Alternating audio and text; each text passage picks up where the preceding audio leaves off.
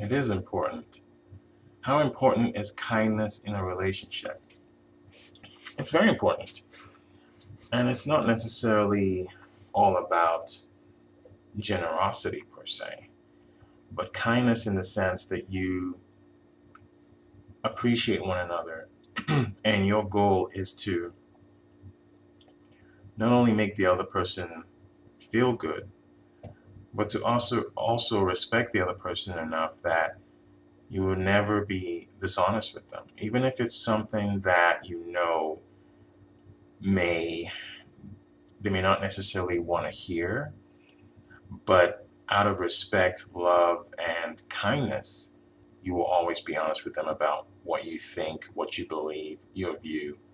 Because sometimes people get into relationships and they think, okay, all I have to do is just prep this person up and just lie, lie, lie, lie, lie, just to make them feel better.